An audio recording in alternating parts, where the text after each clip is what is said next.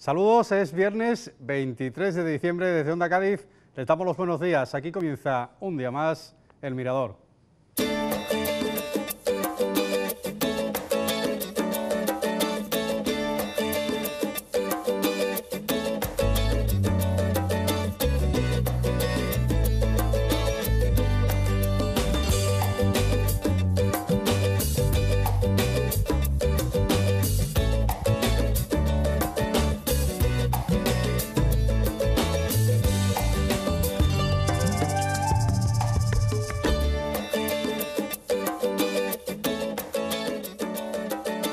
Saludos, buenos días y bienvenidos. Le damos la calurosa bienvenida desde el Mirador a este 23 de diciembre y viernes. Bueno, pues ya lo pongo ustedes. Víspera de Nochebuena y eh, podríamos decir también el día siguiente a. Después lo vemos. Bueno, pues un día que en lo meteorológico, ya saben ustedes, amanece con cielos despejados, algo más de frío, pero bueno, no nos pongamos estupendo porque es lo que tiene la fecha. No llueve, y se puede disfrutar desde luego, apenas se ponga uno un poco de abrigo, se puede disfrutar, como decía, de un buen día de diciembre. Bueno, ahora sí, les decía que hoy nos amanece el día con dos grandes temas, verán ustedes, la salud y los números. Comenzando por lo segundo, números, por ejemplo, como los entre 4.000 y 5.000 millones de euros que se está estimando que la banca tendrá, bancos y cajas de ahorro, tendrán que devolver a sus clientes por los cobros indebidos de las cláusulas solo. Ya saben ustedes que ha sentenciado el Tribunal Europeo y ya se estudia a ver cómo se va a articular esta devolución. Aparte de, esta, de estos números, bueno, pues números también como los en torno o casi 4.500 millones de euros también del Fondo de Liquidez son los que van a inyectar el Gobierno de la Nación a las distintas comunidades autónomas antes de que concluya el año. Y también números. Los de los presupuestos andaluces, ya saben, se aprobaron ayer, son los primeros presupuestos que se aprueban eh, de una comunidad autónoma respecto al año que viene y rondarán los 31.000 millones de euros para 2017. Ya saben las cuentas, el proyecto contable del gobierno socialista salió adelante gracias a los votos favorables del propio PSOE y de Ciudadanos. Y los números, con mayúsculas en esta ocasión, eso sí, de los números que hoy se hablan, bueno, pues se habla mucho del 66.000, no lo voy a cantar, ¿eh? 513, que fue el gordo, y sobre todo aquí en Cádiz se habla mucho del 4.536, un segundo premio, y del 91.917, un quinto premio. En estos dos casos, algo sí que dejaron aquí en Cádiz Capital y en parte de la provincia, con lo cual, bienvenidos sean.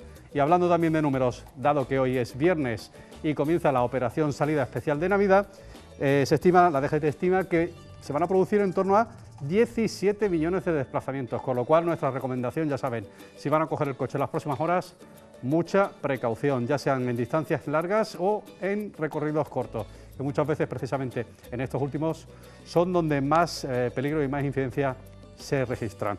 Bueno, y por último, le decía lo de la salud. Bueno, pues sí, porque hoy la mayoría estamos mirándonos un poco la salud a la vista de que en cuanto a la Lotería Nacional no nos, no nos ha caído nada.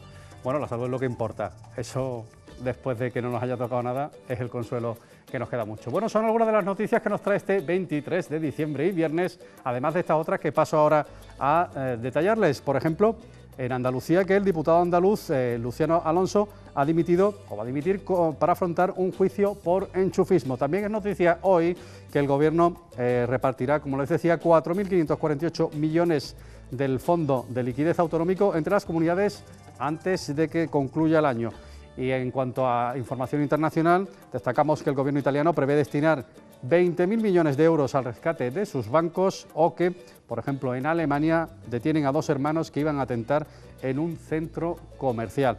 Y volviendo aquí a Cádiz y a la provincia y a la capital, les cuento, por ejemplo, que el alcalde sostiene que hay tres ofertas para la venta del hotel del estadio y que espera que se eh, concluya o que se pueda eh, cerrar la operación antes de eh, concluir el año. También es noticia que el Ayuntamiento pondrá en marcha una investigación para aclarar la situación del servicio de limpieza, ya saben, lo aprobaron ayer en pleno extraordinario.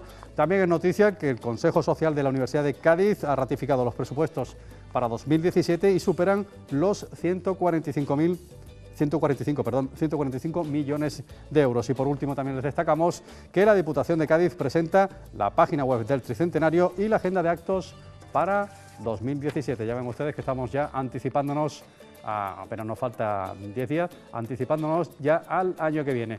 Vamos, si les parece, antes de nada, anticiparnos a ver cuál es la previsión meteorológica para las próximas horas. Parece que hará frío, pero en cualquier caso, buen tiempo. Lo vemos al detalle.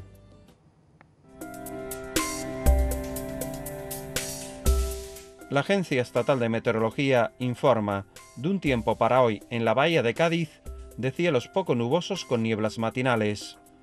Los valores extremos en cuanto a las temperaturas variarán entre los 19 grados de máxima y los 7 grados de mínima en Puerto Real. Los vientos serán del noreste flojos en el litoral. Para la provincia se esperan intervalos nubosos en el estrecho, con posibilidad de algún chubasco débil y aislado, y despejado en el resto. Las temperaturas en ascenso oscilarán entre los 19 grados de máxima en Puerto Real y los 4 grados de mínima en Olvera.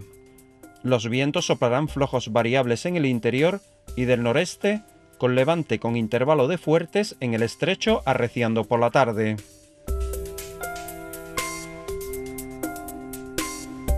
En Andalucía habrá nubosidad de tipo bajo en el Mediterráneo, acompañada de brumas a primeras horas del día. Las temperaturas en ascenso fluctuarán entre los 19 grados de máxima en Almería y el único grado de mínima en Granada. Los vientos circularán del este flojos en el interior oriental y con levante en el Mediterráneo y en el mar de Alborán.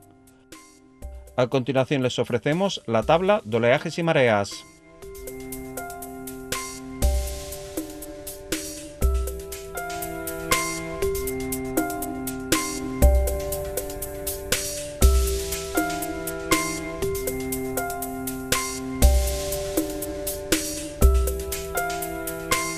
Ustedes que en cualquier caso, frío moderado en estos primeros días de invierno. Bueno, vamos a continuación, como cada mañana desde el Mirador, a asomarnos a los periódicos. Vamos a ver nuestros compañeros del papel que nos traen en sus primeras páginas. Vamos a comenzar, como siempre, por la portada del Diario de Cádiz. Fotografía para el administrador de lotería ayer premiado aquí en la capital, besando el número, el 4536, dice Cádiz, se deja querer por la suerte. El segundo premio del sorteo de la Navidad trae a la capital 4,7 millones de euros. Además de esta información, destaca Diario de Cádiz, entrecomillado Bauza, puede que le dieran el trabajo por ser mi hijo. Eh, un tenso pleno municipal aprueba la creación de una comisión de investigación sobre el servicio de limpieza. Dice también que el edil de Medio Ambiente se aferra al cargo tras ser reprobado por la oposición en bloque.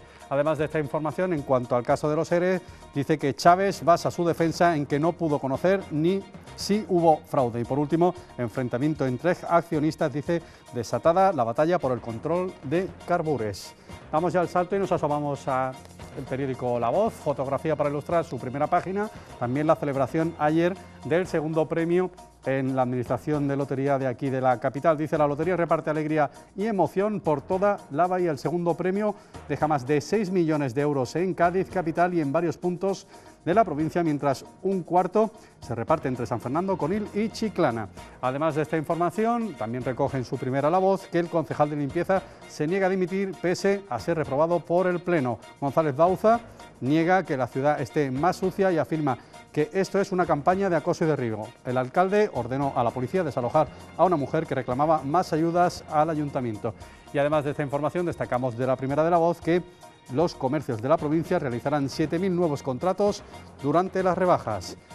Cambiamos de periódico y ya nos asomamos al periódico Viva Cádiz, portada de Viva Cádiz con la Lotería Nacional, pero además en la segunda portadilla que tienen eh, aparece precisamente la celebración y dice la Lotería de la Navidad desata una lluvia de millones en Cádiz. Y también destaca en cuanto a urbanismo que el alcalde confía en la venta del hotel del estadio.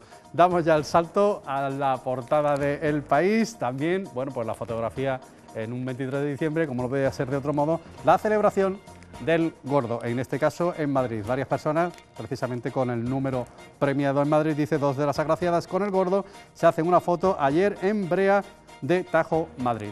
La noticia de apertura para el país, sin embargo, es otra y dice, Errejón sale reforzado de su primer duelo con Iglesias. La propuesta organizativa del líder de Podemos vence por una mínima diferencia a la de su principal rival. Y en cuanto a página internacional, destaca el país que crece la presión sobre Merkel para deportar a los refugiados. Críticas al canciller por el, por el fallo que permitió al sospechoso del atentado permanecer en Alemania pese a tener orden de expulsión. Y por último, destacamos que Michelle y Barack Obama, una pareja de película. Vamos ya a asomarnos al periódico El Mundo la fotografía del mundo en portada, tanto para los premiados ayer del 66.513 como para la familia eh, del terrorista de Alemania. Dice la familia del terrorista, le pide que se entregue.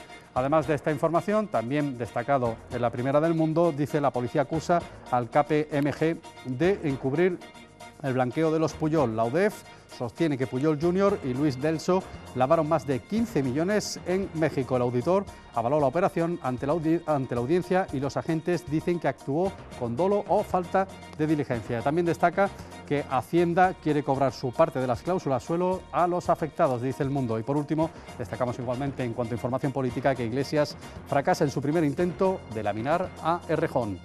Pasamos página y nos asomamos ya al ABC, fotografía eh, clásica del 23 de diciembre para eh, algunos de los premiados a la puerta de la Administración de Lotería, donde cayó ayer el gordo. Dice, el 13 sí da buena suerte.